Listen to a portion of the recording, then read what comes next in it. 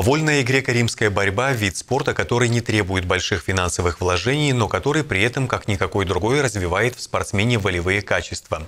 И нельзя не отметить, что именно Гродненская земля подарила международным и европейским пьедесталам немало ярких звезд в этом виде спорта. Тем более неудивительно, что в этом году в очередной раз в роли гостеприимного хозяина универсиады по борьбе среди белорусских вузов выступил именно Купаловский университет.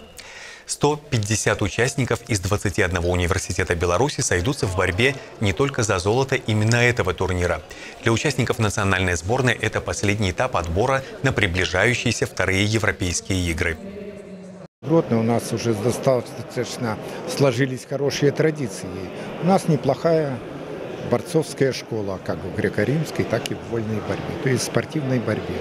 И универсиада в очередной раз проводится. Это особую значимость эта универсиада сейчас играет, потому что ряд спортсменов будут готовиться и участвовать во вторых европейских играх.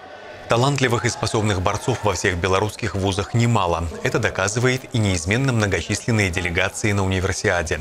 Однако, как и обычно, гродненские среди фаворитов.